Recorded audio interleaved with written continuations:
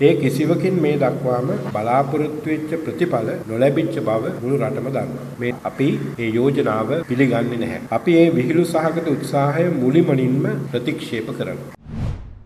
මේ පිළිබඳව විමර්ශනය කරන්න විමර්ශන කොමිෂන් සභා දෙකක් ඊට අමතරව පාර්ලිමේන්තු තේරීම් කමිටුවකුත් පත් කරා. ඒ සියලුම දේවල වාර්තා ඒ වගේම මේ වාර්තා මගේ නිර්දේශ ගණනාවකුත් ඉදිරිපත් වුණා. ඒ වුණත් ඒ කිසිවකින් මේ දක්වාම බලාපොරොත්තු වෙච්ච ප්‍රතිඵල නොලැබිච්ච බව මුළු රටම දන්නවා. මේ සඳහා පත් කරපු පාර්ලිමේන්තු විශේෂ කාර්යක සභාව පත් කරන ලද්දේ වත්මන් ජනාධිපති රනිල් වික්‍රමසිංහ මහත්මයා අගමැතිවරයාව සිටි යහපාලන රජයේ පවතිද්දී. ඒකත් අපි අමතක කරන්න නරකයි. ඒ නිසා මේ සඳහා පාර්ලිමේන්තුව විසින් පත් කරන තවත් පාර්ලිමේන්තු තේරීම් කාර්යක සභාවක් හෝ ජනාධිපතිවරයා පත් කරනු ලබන විශ්‍රාමික විනිසුරුවරයෙකුගේ නායකත්වයෙන් යුත් කමුටුවකින් හෝ මේ විමර්ශන අපක්ෂපාතීව සහ අවංකව සිදුවෙතැයි අපි කිසිදු ලෙසකින් බලාපොරොත්තු නොවෙමු. එවැනි පාර්ලිමේන්තු කමිටුවක් පත් කිරීම සහ තවත් විශ්‍රාමික විනිසුරුවරයෙකුගෙන් නායකත්වයෙන් යුත් කමිටුවක් පත් කිරීම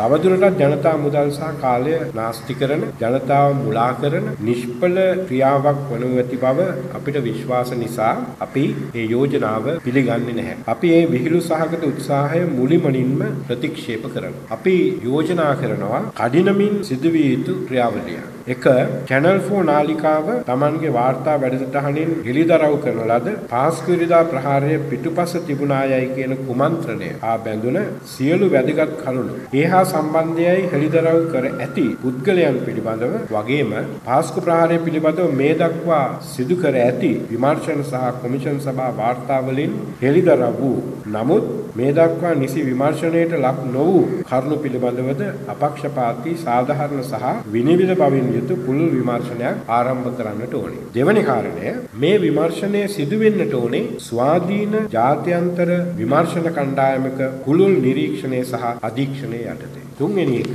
ඒ ස්වාධීන විමර්ශනය සිදු කිරීම සඳහා අමිතු අමුතුවෙන් දේශීය විමර්ශන කණ්ඩායමක් පත් කරන්නට අවශ්‍යයි. හතරවෙනි එක එම විමර්ශනය ස්වාධීනව සිදු කිරීමට අවකාශය සැලසීම සඳහා මේ විමර්ශනයට ලක්වන දැනටමත් බුද්ධ්‍යංශවල මෙන්ම පොලිසියේ ඉහළ නිලතල හොබවන සියලු නිලධාරීන්ගේ සේවය විමර්ශන නිමාවනතුරු අත්හිටු විය යුතුමයි. ඇත්ත කෙටියෙන් දත්ත වැඩියෙන් සයිබ අවකාශය කළඹන වුවත් සලකුණ. නිවස් ෆර්ස්ට් YouTube චැනලය අදම සබස්ක්‍රයිබ් කරන්න. නිවස් ෆර්ස්ට් ජනතාව සමඟ.